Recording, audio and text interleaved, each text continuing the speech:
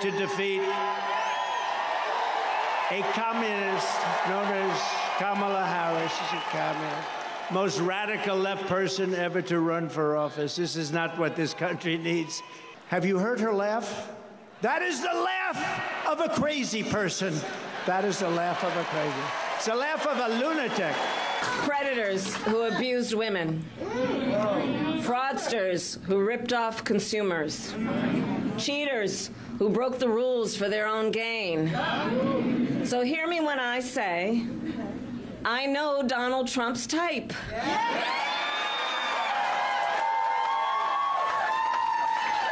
Consider not only the chaos and calamity when he was in office, but also the gravity of what has happened since he lost the last election. The dogs, the people that came in, they're eating the cats, they're eating they're eating the pets.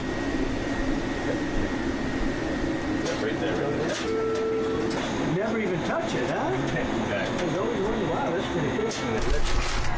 And this is their I mean, that's water? thousands of people. That's. Hello, how are you? What a beautiful woman. Look at that beautiful child. The whole thing. It's like the perfect looking person. That's oh good. That's, it's that's good. to Compliments.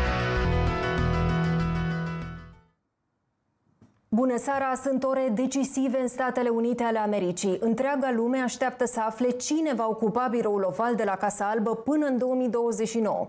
E o cursă umăr la umăr, al cărei final nu poate fi prezis pentru că niciunul dintre candidați nu are un avantaj categoric. Milioane de americani sunt așteptați azi la urne pentru a alege următorul președinte al Statelor Unite. Vorbim despre implicațiile acestui scrutin cu Valentin Naumescu, profesor de relații internaționale la Universitatea Babeș-Bolyai. Vă mulțumesc, domnule profesor! Bună seara, bine v-am regăsit! Printre americanii care votează azi și mulți români stabiliți în Statele Unite, al căror vot poate înclina balanța. Constantin Vulpescu trăiește de mulți ani la New York și ne spune în minutele următoare în direct care e atmosfera peste ocean. Bună seara, domnule Vulpescu! Bună seara! Pentru început, însă, să vedem imagini cu candidatul republican Donald Trump, care a votat într-o secție din Florida. Vorbind cu presa după ce și-a exprimat votul, fostul președinte Donald Trump a declarat că e foarte încrezător că va câștiga alegerile și că scorul nici măcar nu va fi strâns, exprimându-și în același timp frustrarea că ar putea dura ceva timp până la afișarea rezultatelor. Iată. We have a, a great country, but we have a country that's in trouble. It's in big trouble in many ways. And we have to straighten it out. We have crime is through the roof. We have people pouring through our borders that are uh, not exactly perfect. Uh, they come out of prisons. They come out of prisons. Uh, 13,000 people convicted of murder. Uh, we don't need this in our country. We have enough difficulty. We don't need that. So I think people saw that, and uh, it just seems that the conservatives are voting very powerfully.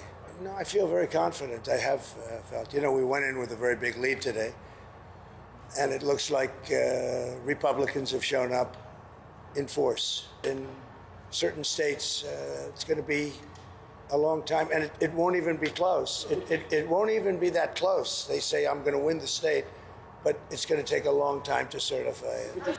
I'm not uh, a Democrat. I'm able to make a speech on pretty quick notice. If I win, I know what I'm going to say, and I don't even want to think about the losing part. I would like to tell uh, all of the people that are online to stay online. I'd like the Republicans to stay online. Democrats, if they'd like, they can leave. I, I think we're going to have a very big victory today.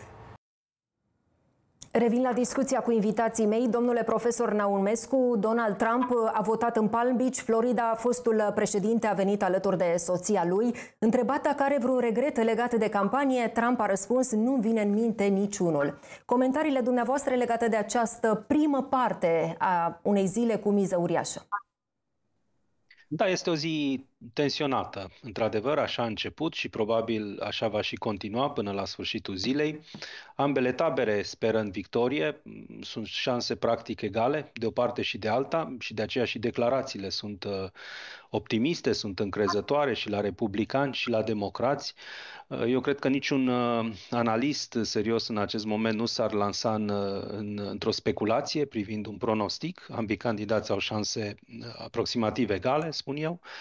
Și, sigur, diferențele se vor face așa cum se știe în cele șapte uh, state uh, cheie și probabil la diferențe mici, așa cum s-a întâmplat și acum patru ani și acum opt ani, uh, au fost state uh, cheie în care uh, victoria s-a judecat la o diferență de sub uh, un procent. Uh, mi-amintesc, Michigan, de exemplu, în 2016 au fost sub 10.000 de voturi, uh, deci un procent, două procente diferență, asta, asta va fi în câteva uh, state uh, cheie. Uh, candidatul care își va mobiliza mai bine Uh, alegătorii uh, astăzi uh, va avea câștig de cauză. Tot ce era de spus, practic s-a spus. Eu nu cred că în cursul zilei de astăzi mai pot apărea elemente politice noi, elemente de discurs sau de uh, campanie electorală sau uh, elemente de uh, ofertă electorală noi.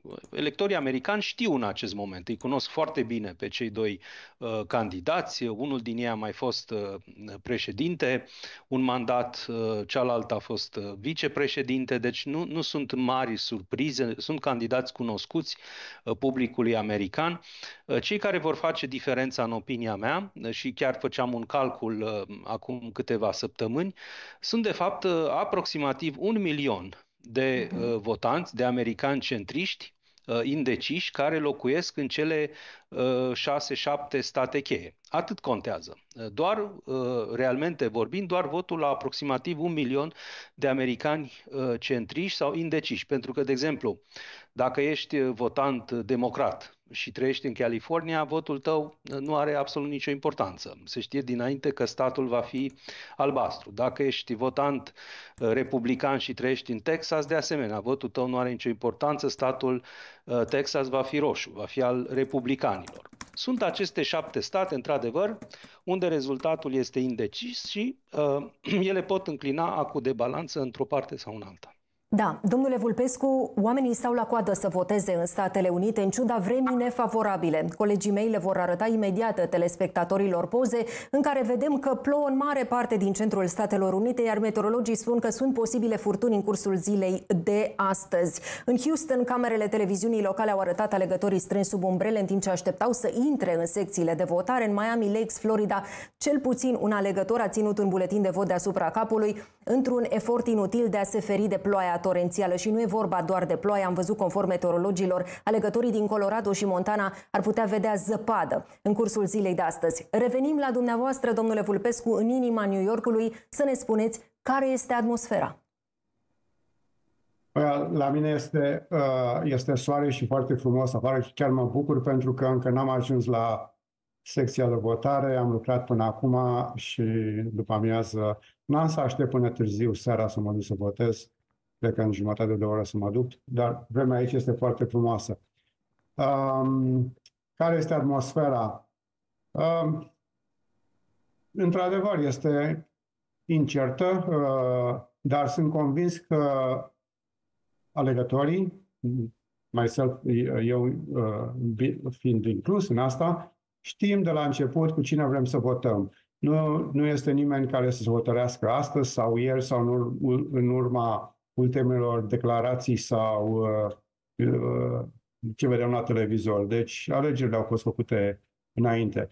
Uh, domnul profesor a sumarizat foarte bine uh, toată imaginea. Ce aș adăuga uh, la comentariile dânsului sunt, este faptul că, de fapt, hotărârea a, uh, ultima care va decide cine este uh, ales, nu este numai la cele șapte state, de fapt ajungi la câteva județe sau, cum se numesc, counties în fiecare stat. Deci, într-adevăr, numărul de voturi va fi pe care va diferenția uh, câștigătorul va fi uh, numere cu miile, probabil. De câți ani sunteți, domnule Vulpescu, în Statele Unite? 34 și un pic. Sunt acestea cele mai tensionate alegeri pe care le-ați prins acolo? Cred că da, cred că da. Dacă mi-aduc bine aminte, ceva asemănător a fost în perioada în care uh, Obama a candidat pentru prima dată. Și atunci erau, uh, într-adevăr, foarte uh, neobișnuite, o situație neobișnuită care alegătorii se înfățișau prima dată cu, cu situația de a vota uh, un, uh, un uh, African American. Da. Da. Nu doar suspansul, da. ci și tensiunea e cuvântul de ordine anul acesta, pentru că alegerile din Statele Unite vin cu măsuri fără precedent de securitate în toate cele 50 de state. După una dintre cele mai violente campanii din istorie, americanii care nu au votat anticipat sunt chemați la urne să-și aleagă președintele. În secțiile de votare au fost montate geamuri de protecție, camere de luat vederi, iar autoritățile sunt în alertă maximă și gata să intervină în caz că vor fi violențe sau tentative de fraudă. În așteptarea zilei care va decide viitorul Statelor Unite, secțiile de votare au fost securizate ca la război de teama violențelor și tentativelor de fraudă. Au fost asigurate sute de echipamente de securitate, drone, geamuri și veste antiglonți și chiar un buton de panică conectat la numărul de urgență. De asemenea, în anumite zone vor fi prezenți și lunetiști gata să intervină în caz de urgență. Măsuri de securitate suplimentare au fost luate și la Capitoliu de teamă că scenariul din 2021 s-ar putea repeta. Teama Teama autorităților este că Donald Trump ar putea recurge la aceeași strategie în cazul în care va pierde cursa pentru Casa Albă în fața Kamalei Harris. Analiștii spun că în timpul campaniei, republicanul și-a pregătit terenul pentru o manifestație asemănătoare cu cea de la alegerile precedente, când o mulțime furioasă a luat cu asalt Capitoliul.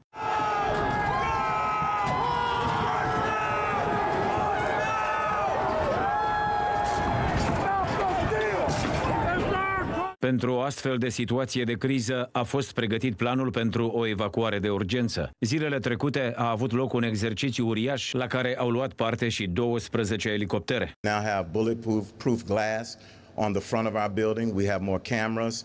We have a panic button. Măsuri de securitate sporite sunt și la sediile de unde principalii candidați vor urmări rezultatele electorale. În Washington, unde se va afla Kamala Harris în noaptea cea mare, s-au pus garduri în jurul tuturor clădirilor guvernamentale, cât și în preajma reședinței democratei. Donald Trump va fi în noaptea alegerilor la sediul partidului din Florida, unde va avea loc o petrecere. În imaginele surprinse de presa de peste ocean, se vede cum proprietatea a fost securizată în totalitate. Măsuri au fost luate în tot orașul, iar primarul din West Palm i-a avertizat pe cei care ar putea perturba ziua alegerilor. If you are thinking about or planning on coming to our great city to cause problems, don't do it.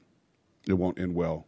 FBI a înființat un centru de comandă pentru a monitoriza amenințările de securitate, în timp ce Secret Service, responsabil cu protecția personalităților politice de rang înalt, a declarat că își va consolida sistemul de securitate dacă va fi necesar.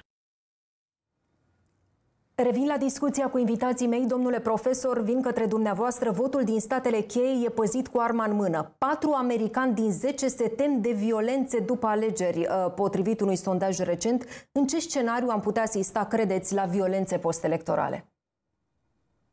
Da. Eu cred că dacă avem în vedere un scenariu de tip 6 ianuarie 2021, uh, el nu, nu se va petrece în niciun caz astăzi, în ziua votului. Uh, mai degrabă există riscuri în perioada postelectorală Uh, și cu precădere dacă uh, Donald Trump va pierde alegerile. Pentru că acesta este, de fapt, uh, riscul pe care l-au mulți în, în vedere, că dacă Trump pierde alegerile, va putea reveni cu discursul de acum patru ani, că alegerile au fost furate de, de democrați, de sistem, de deep state, mă rog, și atunci suporterii lui, cei mai pătimași, vor recurge la proteste violente asupra instituțiilor uh, statului american. Aici este de fapt uh, temerea, dar lucrul acesta nu, mă rog, nu se poate obiectiva decât în zilele următoare, pe măsură ce va apărea numărătoarea voturilor și se vor contura rezultatele. Deci astăzi nu cred că va fi o zi Uh, sau mă rog, nu sper, nu, nu am niciun uh, uh, indiciu uh, pentru a vedea o zi tensionată, violentă astăzi, decât eventual, știu și eu, acte cu totul izolate ale unor uh, cetățeni. Rămâne de văzut dacă în perioada următoare societatea americană va, și democrația americană vor fi suficient de, de stabile, de mature pentru a primi acest rezultat, pentru că va exista un câștigător și un învins. Uh, asta este clar. Uh, și nu vor fi fericiți uh, suporterii candidatului învins. Iarăși, este clar și lucrul acesta.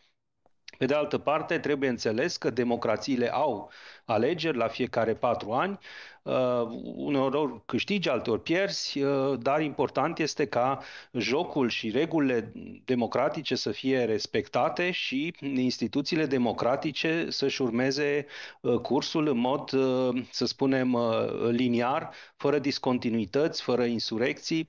Acesta va fi un test de, de stres, un test de maturitate al democrației americane. Este foarte curios să vorbim Uh, noi despre un test de stres, un test de maturitate al Absolut. democrației americane la peste 200 de ani de când rulează această democrație. Asta este un semn destul de îngrijorător că tensiunea a ajuns atât de mare în societatea americană, diviziunile sunt atât de adânci, polarizarea ideologică este atât de, de intensă, de ascuțită, dată de rețele sociale. Știm foarte bine cauzele. Oamenii trăiesc în bule de comunicare, se radicalizează, își dau dreptate unii altora. Cei de dreapta devin și mai de dreapta, cei de stânga devin și mai de stânga și punțile de legătură între ei devin din ce în ce mai șubrede.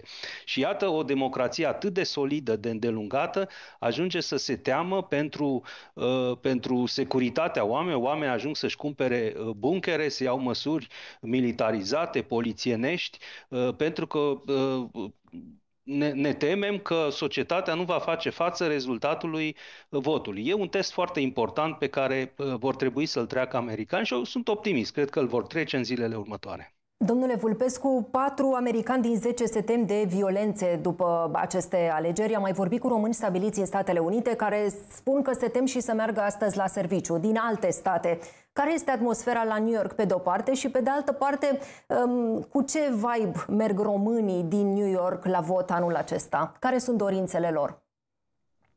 Da, deci eu uh, locuiesc în suburbs, în afara New York, uh, New York City, Aici atmosfera este calmă și, mă rog, uh, foarte civilizată. Dar, într-adevăr, uh, problema violenței uh, sociale care se poate declanșa în alte părți ale Americii este o, un lucru foarte serios. Aș adăuga la influențele interne în jurul alege, acestei alegeri, influențele externe. Sunt rapoarte în, în presa americană de uh, influențe din partea mă rog, altor state. Da? Uh, aia este un lucru, acela este un lucru foarte serios care uh, a, multă lume nu mai știe care este adevărul și ce mai e ce e adevărat și ce este neadevărat. Uh, dar să sperăm că trecem cu bine această situație uh, care a fost declanșată cam acum patru ani de zile, da? și este uh, ongoing, este, uh, se proliferează până în, până în perioada asta. Să sperăm că la câteva de, luni de zile după alegeri, uh, mijlocul ianuarie, uh, totul va fi uh, istorie și lucrurile vor intra normal în viața americană. În ceea ce îi privește însă pe românii din America, ce își doresc ei pentru viitorul Statelor Unite? Cine, românii? Da. Um, eu, de exemplu, eu sunt, independ, sunt înregistrat independent, nu sunt nici democrat, nici republican. Uh, din ceea ce vorbesc cu prietenii mei români, majoritatea înclină spre uh, Trump.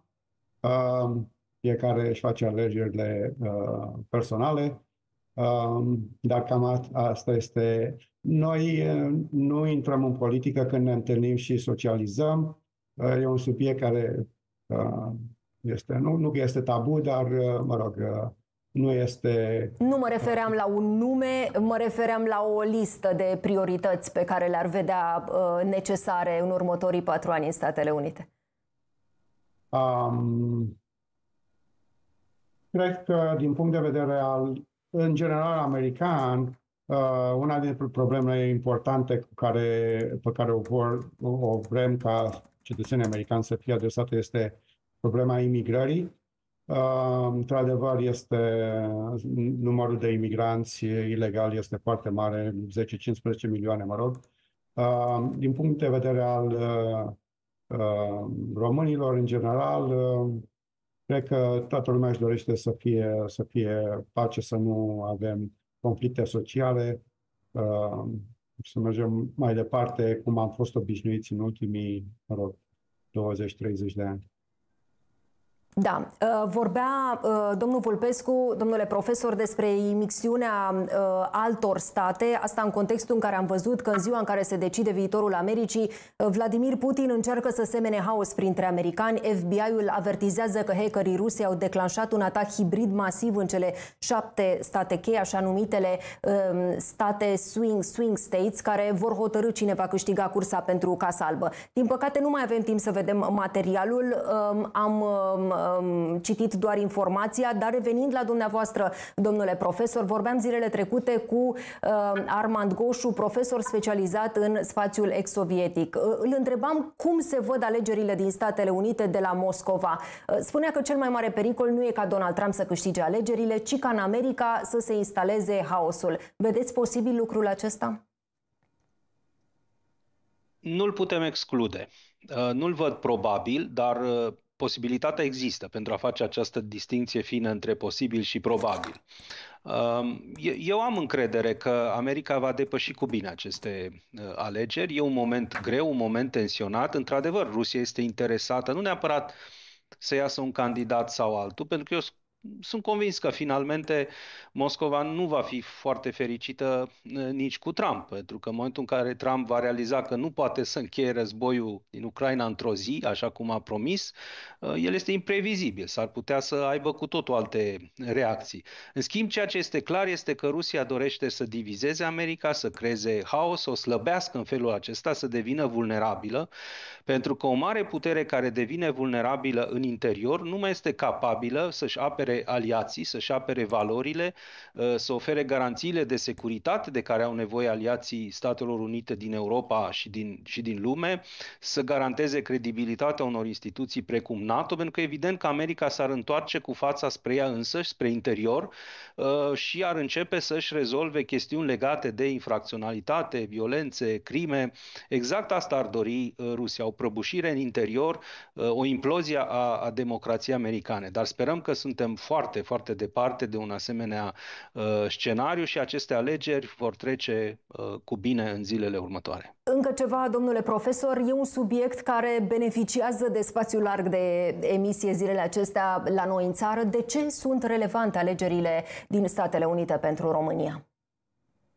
Pentru că toți ne punem întrebarea legitimă dacă vor exista schimbări majore, schimbări semnificative în politica externă a Statelor Unite față de regiunea noastră, față de flancul estic al NATO, pentru că noi trăim într-o lume care este încă fondată pe sistemul garanțiilor de securitate americane, să fim lucizi, da? întreaga securitate a regiunii noastre și a României se bazează pe alianța strategică, pe parteneriatul strategic cu Statele Unite și pe apartenența la NATO.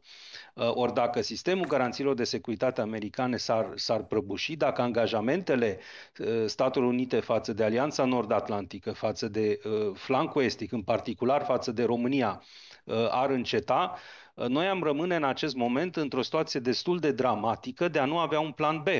Uh, și nu există un plan B pentru ordinea da. de securitate europeană fără Statele Unite ale Americii. Dar sperăm ca o asemenea schimbare dramatică a politicii externe americane să nu se producă. Vor apărea schimbări cu siguranță, dar da. ele vor fi schimbări de nuanță uh, pe care le vor aduce unul sau altul dintre câștigători, nu schimbări de direcție uh, fundamentală a politicii externe da. americane. Da. Uh, ultima întrebare, 30 de secunde mai avem din această discuție, domnule Vulpescu. Aș fi vrut să vă întreb uh, care este tonul, atmosfera în rândul televiziunilor americane și când sunt așteptate primele rezultate? Probabil că, deci în seara asta, toate televiziunile o să acopere uh, evenimentul cu uh, updates la fiecare, probabil, fiecare minut. Uh, o să fie o noapte lungă.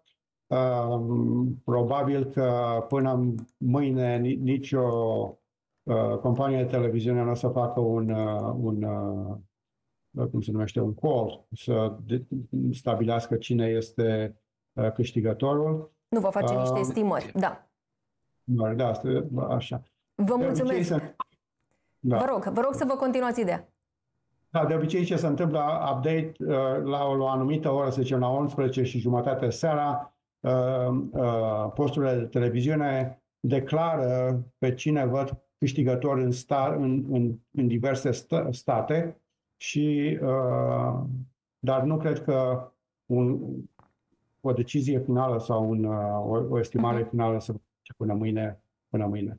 Le mulțumesc foarte mult invitațiilor mei pentru discuție.